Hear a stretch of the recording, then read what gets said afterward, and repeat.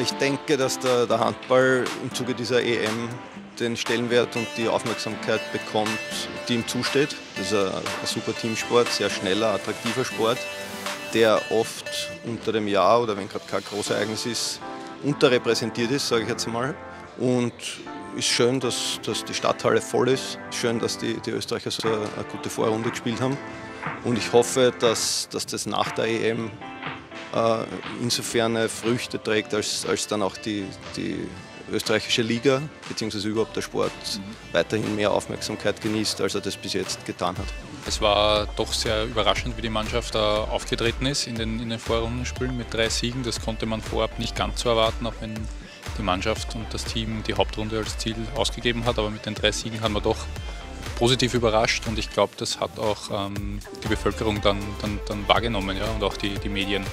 Es ist das Beste eingetreten, was eingetreten oder eintreten konnte eigentlich mit den Erfolgen der österreichischen Nationalmannschaft. Noch dazu spannende Spiele. Aufmerksamkeit ist wichtig für solche Sportarten und gerade wenn eben ein österreichisches Team spielt, dann sind auch alle dabei und nur so kann man auch so einen Sport wie Handball in der Öffentlichkeit darstellen und äh, auch an die Kinder, in die Jugend bringen, dort wo man zweifelsohne ja, die Bekanntheit für so einen Sport braucht. Also die große Überraschung und die große Entdeckung ist zweifelsohne der Thomas Eichberger. Mit dem, glaube ich, hat niemand gerechnet. Niemand hat damit gerechnet, dass der so eine Rolle spielt. Er war ja vorher auch die klare Nummer zwei.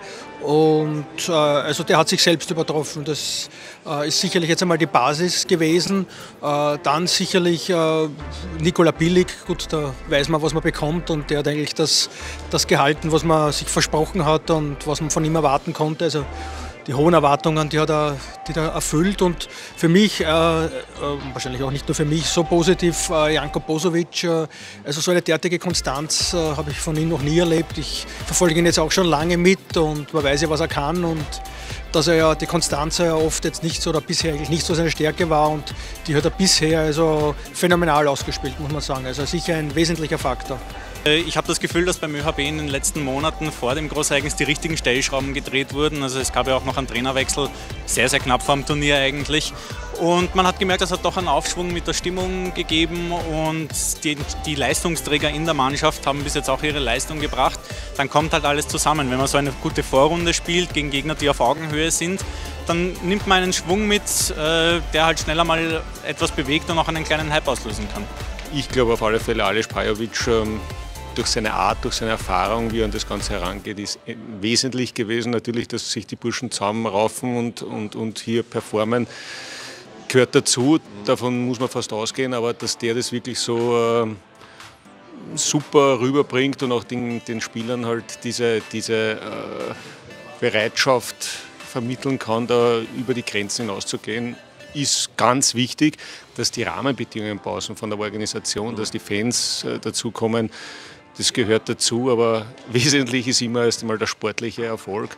Und da ist, gehört, glaube ich, Pajovic das größte Lob. Ich denke, dass der, der Teamchef Pajovic hervorragend zu, zu, dieser Mannschaft passt. Das hat man von Anfang an gesehen. Also vom ersten Spiel weg, das war gegen Spanien, gleich, gleich ein Sieg in, in einem Freundschaftsspiel, hat man gemerkt, dass die Chemie passt. Er, er ist ein guter Taktiker. Er, ist, er, hat die richtige Mischung gefunden zwischen Kumpeltyp und, und Autoritätsperson.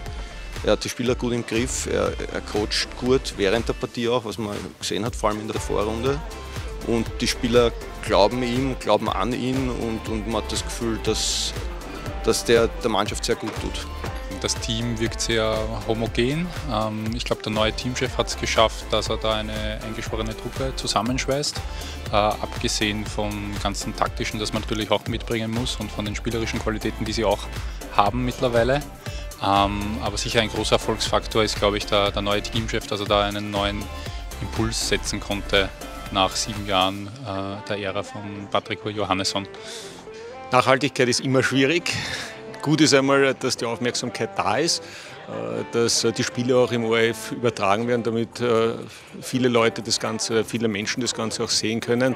Für eine Nachhaltigkeit müssen alle zusammenarbeiten und da denke ich mir, äh, nach wie vor, dass es sich Österreich nicht leisten kann, auch im kleinen Kasteldenken weiterzuarbeiten. Also nur Handball allein wird es nicht schaffen. Da muss man auch eine Bereitschaft äh, auf andere Sportarten, Randsportarten gemeinsam legen und gemeinsam hier versuchen, den Sport in Österreich wieder in die Gesellschaft zu verankern, weil das ist das große Problem. Es gibt große Sportarten, aber der Rest äh, ist für den Nischendasein.